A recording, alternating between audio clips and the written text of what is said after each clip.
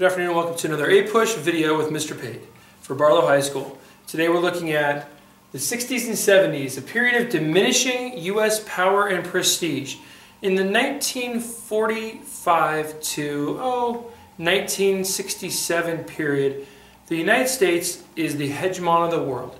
It is unparalleled in its heights and it is un, it's untested economically, uh, it, it, has a rivalry with the, the, Soviet Union, of course, but for the non-communist world, the United States absolutely dominated military, economically, and, and in other ways as well. The United States had a lot going for it and went through a huge ride of prosperity during this time. But then by the time you get to 1968, you start to see a lot of problems. So let's go ahead and look at these, what they are. Number one, cover, the cover-up idea and the loss of trust. Vietnam.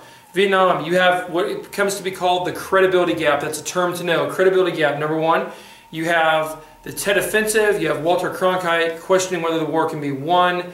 Um, the party line coming out of the White House and the Pentagon had been, we're winning the war, progress is being made, progress is being made. More and more young men going to Vietnam, more and more coming back dead or wounded.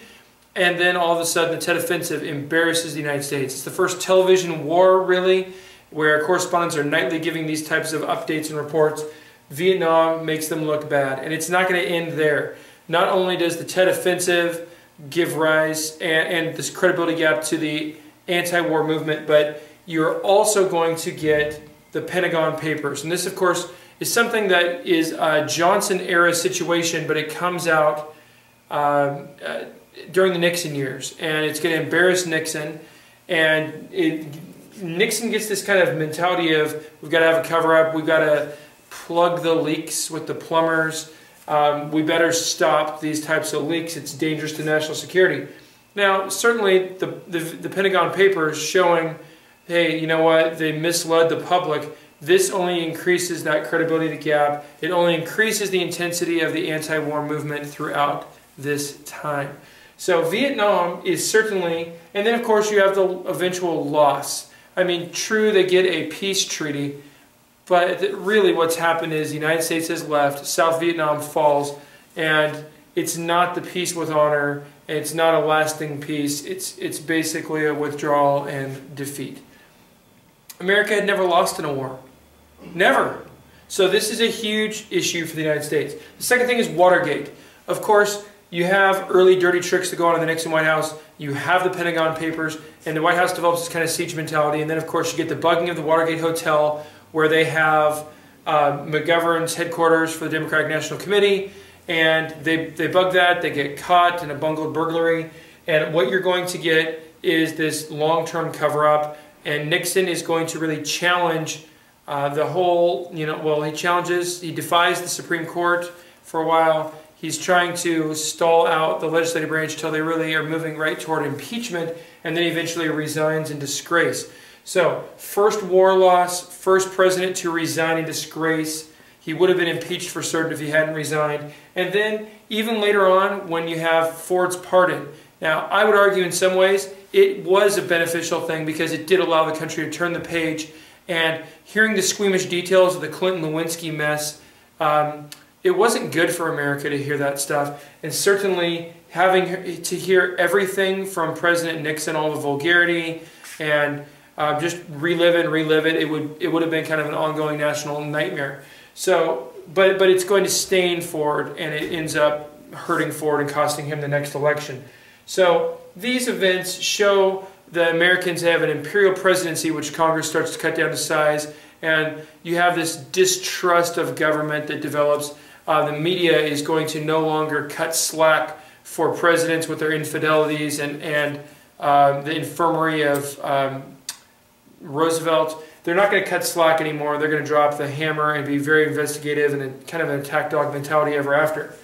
Economic malaise. The energy crisis. Okay, so you have the 67 campaign, the Six Day War, you have the Yom Kippur War, where Israel almost loses. The U.S. continues to support them as Kissinger's running foreign policy.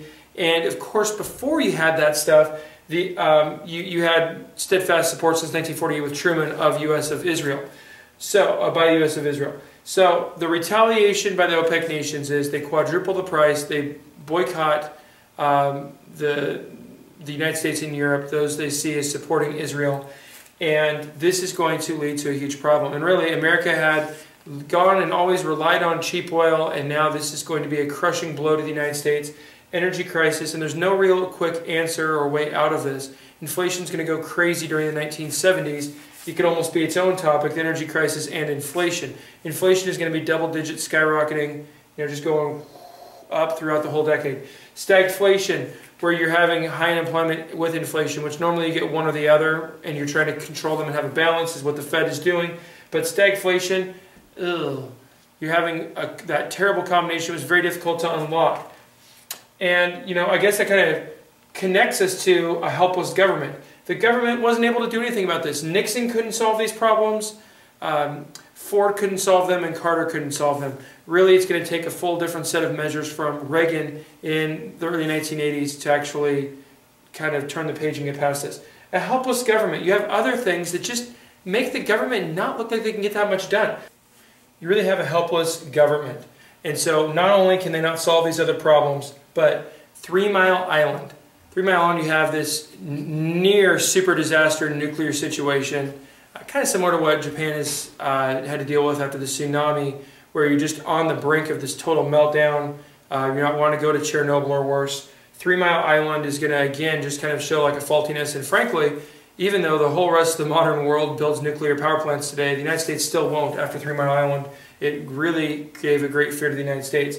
Love Canal. You have a community that's built uh, on basically a toxic waste dump, and the, the state and the federal government won't do anything about it. And finally, a group of mothers are going to trap and basically kind of take hostage some of the health inspectors until they agree to move them all out of there. And so this shows, again, kind of not only is the government not getting it done, but at the same time, they're not really even knowing how to help or what to do. They appear disorganized or uncaring.